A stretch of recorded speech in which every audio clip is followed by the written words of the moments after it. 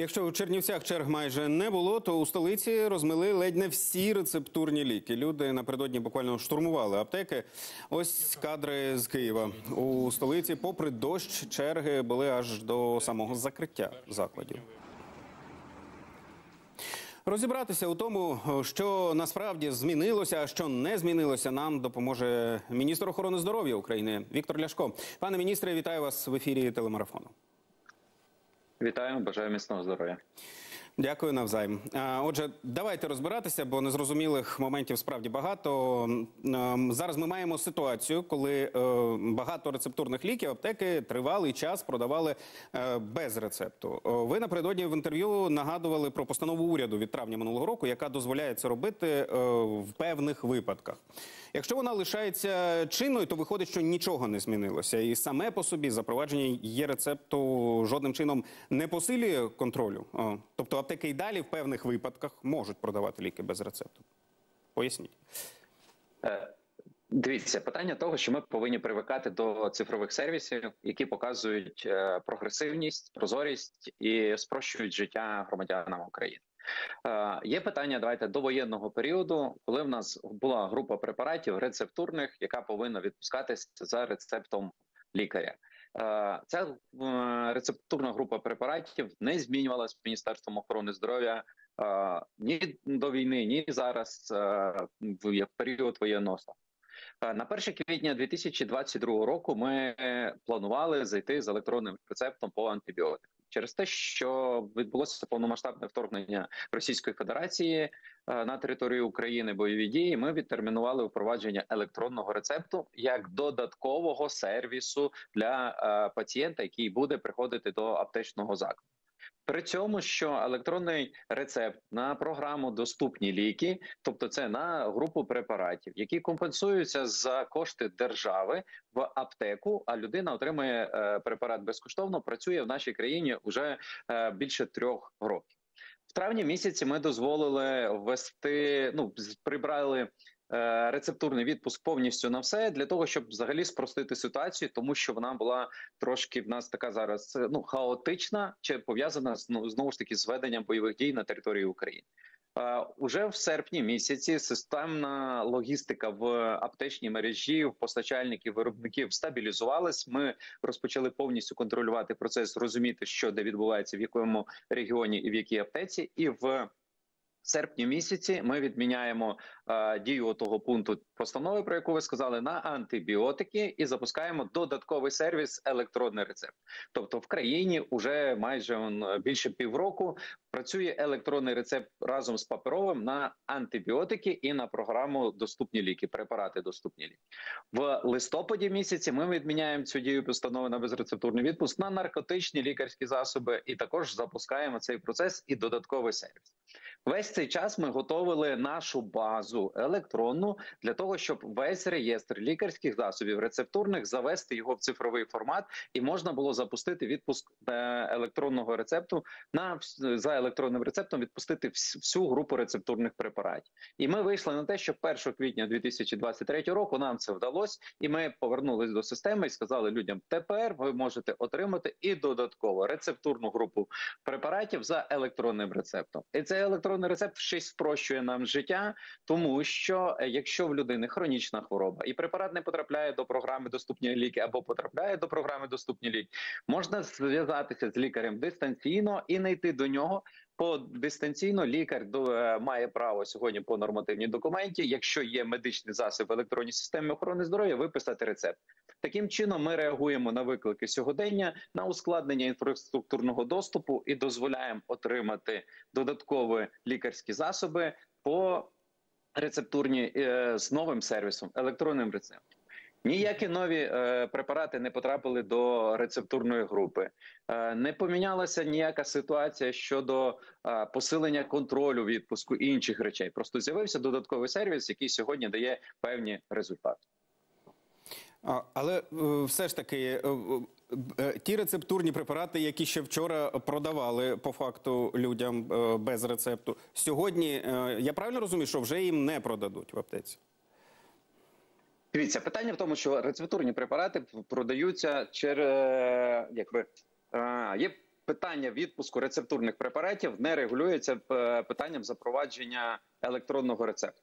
Мгм. Це треба зрозуміти, і в нас рецептурні препарати завжди е, були відпускалися за рецептом. В той же час е, є певна одна вимога, яка якою користувалися аптечні мережі, коли ми говоримо про те, що не було під е, якби вимоги зберігати паперовий паперовий рецепт в аптеці, і е, це дозволяло аптекам відпускати рецептурні препарати без е, рецепту.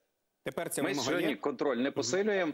Вона е, ми, контроль не посилюємо. Все те, що було до 1 квітня, залишається. З'явився додатковий сервіс. Додатковим сервісом є сьогодні електронний рецепт для того, щоб ми розпочали е, відслідковувати, хто що виписує, на які групу препаратів, де відпускається, на яку е, хворобу виписують той чи інший препарат.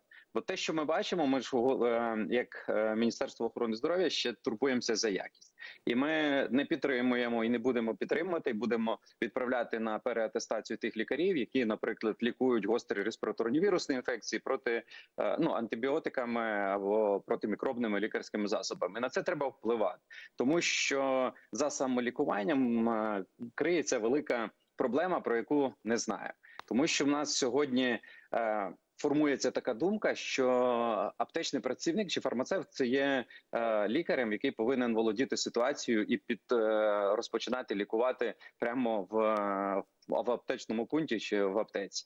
Бо часто від ми бачимо картину, коли приходить людина до фармацевта і запитує: Ой, мене ось тут на спині болить. Чим би мені і дати лікарський засіб, який е, допоможе? Е, не можна цього робити, тому що. Е, Використання певних груп препаратів воно прибере певний симптом на нетривалий час, але не покаже вам в чому була проблема, яка і в чому ця проблема спровокувала цей біль, який ви, наприклад, хочете там погасити з рахунок самолікування. Тому лікар повинен бути для того, щоб він а побачив проблему, підсказав, які діагностичні процедури треба пройти, виявити, що спонукає цю проблему, і після цього е, застосовувати лікарські засоби або інші методи лікування. Тобто гормональні, наприклад, препарати сьогодні ніхто не зможе продати без рецепта. Правильно я розумію? Дивіться ще раз. Давайте ми ще раз повторимо е, питання. Е, ми не змінили право відпуску пр- препаратів. Ми говоримо про те, що ми ввели додатковий сервіс, е, який сьогодні з'явився. Це електронний сервіс на ну електронний рецепт на той чи інший препарат. Всі інші правила відпуску, контроль, який був в нас в довоєнний період, він і залишається сьогодні, е, такий, який був до 24 лютого. На території, в яких ми говоримо про а, які визначені наказами Мінреінтеграції, по і на яких ведуться активні бойові дії, там взагалі ми сьогодні ну прибирали питання. Е, Якби спростили взагалі доступ, і там е, людина може прийти в аптеку і купити будь-який препарат без е, будь-якого рецепту і консультації, тому що там в першу чергу ми вирішуємо питання доступності.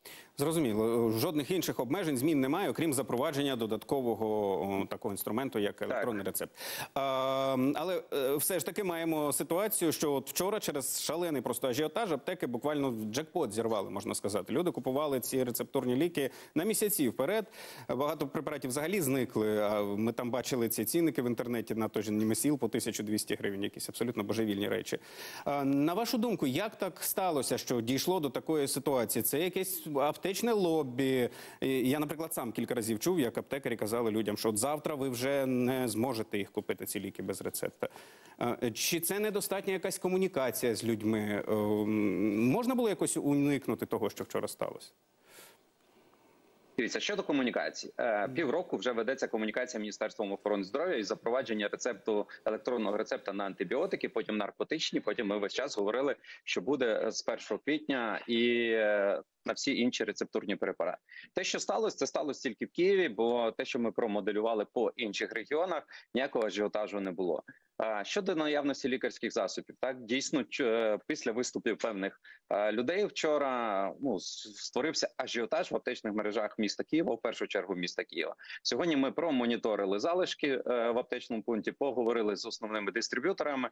З запас лікарських е, препаратів на складах є. Сьогодні вже відбул, ну, відбуваються поставки в суботу, неділю. Поповнення того, що люди забрали на місяць вперед. Таку ситуацію ми проходили в перші тижні війни, коли позабирали е, гормонозамісні препарати, е, ельтероксин та інші, і це призвело до того, що в когось лежать е, вдома велика кількість препаратів, які йому не потрібні. А люди, які отримували ці препарати для лікування, не мали до них доступу. Це ми тоді в ручному режимі регулювали всі поставки в країні. На сьогодні такого не відбудеться. Всі препарати повністю є. Наявний на складах дистриб'юторах розвозяться по аптечних мережах, тому проблеми з цим не виникнуть. А я б хотів би до всіх звернутися і слухати і, і довіряти виключно е, офіційним джерелам, користуватися е, сайтами і соціальними мережами Міністерства охорони здоров'я, слухати національний марафон е, офіційних е, осіб Міністерства охорони здоров'я, де ми ці позиції роз'яснюємо і говоримо про те, е, що, що є насправді, а не те, що деякі люди видають за дійсність.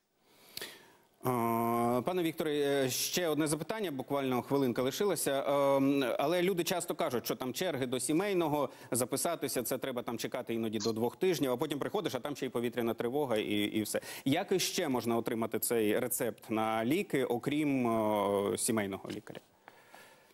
Дивіться, будь-який лікуючий лікар може вам виписати рецепт. Це раз. Друге, ми для того і запровадили електронний рецепт, щоб була можливість дистанційної форми отримання рецепту.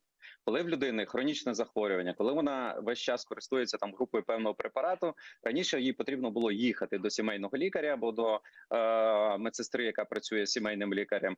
Е, Записуватись на прийом, потрапити на прийом і отримати цей рецепт. Сьогодні цього достатньо зробити. Буде в телефонному дзвінку отримати консультацію. Вони відкривають електронну систему охорони здоров'я, бачать медичний запис і спокійно можуть виписати електронний рецепт, який людина зробить в ну прийде в аптеку і погасить цей рецепт або безкоштовно за програмою доступні ліки, або за власні кошти, в разі якщо цей препарат не входить до програми доступні ліки. Наше наступне завдання сьогодні, чим займається наше міністерство охорони здоров'я, е, збільшити доступність до е, лікарських засобів в сільській місцевості. Тому наш пріоритет сьогодні вирішити питання, так щоб повідкривались аптечні пункти в сільській місцевості, щоб фельдшери, які працюють в фельдшерсько-акушерських пунктах, могли відпускати лікарські засоби і гасити рецепти, щоб з'явилися мобільні е, аптечні пункти, які можуть приїжджати у визначений час, у визначений населений пункт і дозволяти людям погасити цей рецепт, або вейдингові апарати, які будуть видавати так же ж само за рецептом. Це наша стратегія на найближчий час. Ми запустили один електронний ресурс, який в подальшому дозволяє нам швидше поширювати ті технології у віддалені населені пункти. Мгм. І оце, оце наше завдання, і це повинно бути розуміти. Пане. Вікторе, я вас зрозумів. Дякую вам дуже за, за всі ваші відповіді. На жаль, час закінчився, хоча питань ще багато, але думаю, це не остання наша розмова. Це був Віктор Ляшко, міністр Дякую. охорони здоров'я.